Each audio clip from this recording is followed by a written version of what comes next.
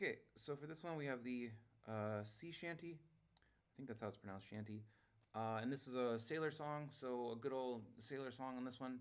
We have the uh, theme and then also our variations here.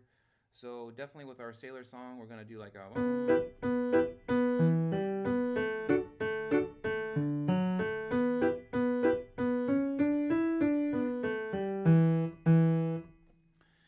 the top there, the top left, we have our cut time review.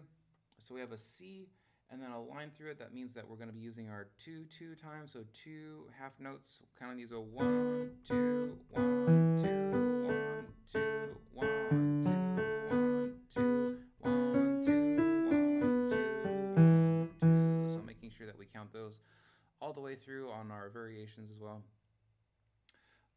on this one, I think it looks like on the theme and then variation one, we have a lot of little kind of hand switches and adjustments here. Let's do the left hand first on the theme.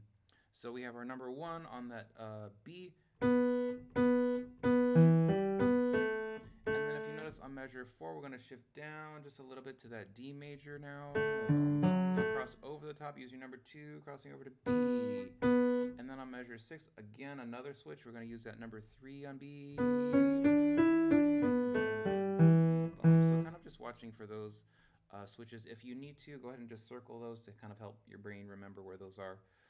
Uh, right hand, we have an E minor. We're going to shift down just a little bit, D major.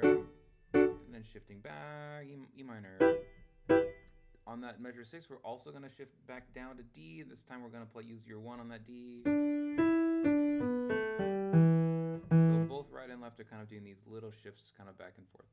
Let's do uh, uh, the theme. So starting from the beginning here.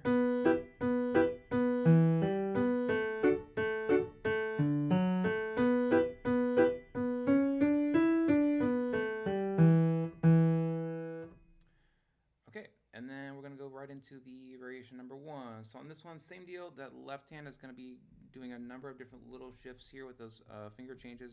You're gonna use your number two on B, and then you're gonna play again B using your number one here. So.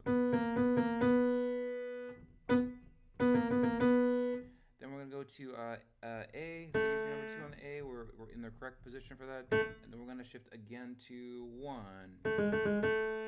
Going back, use your number two on that B, switch to one. Okay, and then we have on measure 15, uh, we have our uh, 5-7 chord. Remembering that we have that D, D sharp there, D sharp, A, B, and then we have the E minor chord. Okay, so let's go ahead and do the uh, right hand now. So right hand is E minor. On that next measure, we have uh, shifting down just a little bit, D major. Remember your F sharp. Same thing. 13 back up to E minor. B, A, G. Remember your F sharp. B. And then we have a little shift there. Use your number three. Okay, so let's go ahead and do that one, both hands. Remembering also our timing one, two, one, two, one,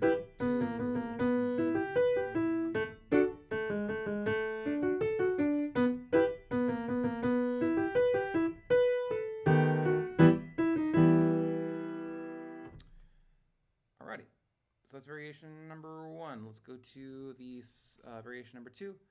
Uh, if you notice on this one, the left hand, we have that E minor, boom. and then also we're going to shift down just a little bit to D, and then we're going to shift back up to E. So on the left hand, we're just kind of shifting back and forth, E minor, and then to D major. On the right hand, we have E, we have those eighth notes. Shift down just a little bit using number four and D shifting back up to E. Also noticing on 23, we're going to shift using number uh, 5, that pinky there. This is our E minor scale that we were practicing, I think, yeah, on the previous page.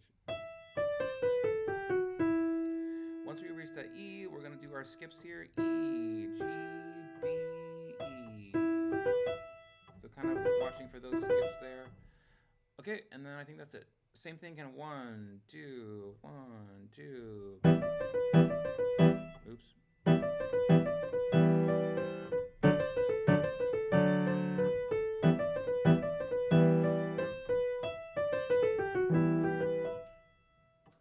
Okay, and then last one, let's go ahead and go to variation number three. So left hand, we're going to shift down all the way down to like a low E minor position.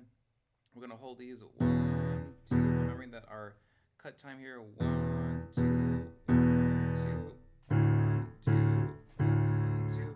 So that one, we have just a little bit of a shift down to that D and back up to E.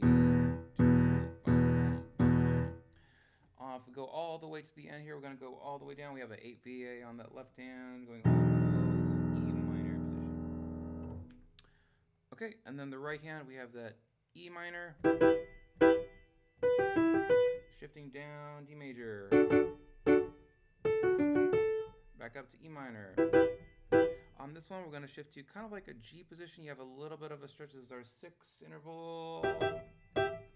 So remembering that interval, this one D, B, A, cross over the top using number three, G, E. Also two, we have a, a interval here. This is a fourth, B and E. Looks also too like we have a little bit of pedal. So I'm gonna see if we can throw in a little bit of pedal. I don't think we have any pedal on the other ones. So let's throw in a little bit of pedal here. Uh, okay, so I'm gonna start from the beginning. Again, one, two, one, two, boom.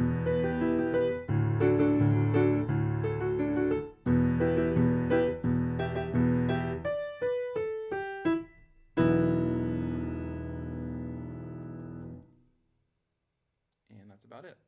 Also, too, when you're playing these, kind of watch for the uh, dynamics. Uh, on this last one, especially, you have a fortissimo and then like a fortissimo, I think. So really, really loud on that one, as loud as you can go. Also, too, kind of watching for any dynamics. You have a piano, mezzo piano on variation two, variation one. You have a forte, mezzo forte, and then looks like just a forte on the uh, theme there. So a lot of stuff going on. You have watch for your slurs, staccatos, uh, your dynamic marks, and also looks like a little bit of pedaling on that last one. And also you have a little bit of fermatas. Uh, I think just those last notes have the fermatas. So I think that's about it. Kind of just remembering your cut time here as well as the E minors and D major, kind of shifting back and forth with those for both hands. And that's it.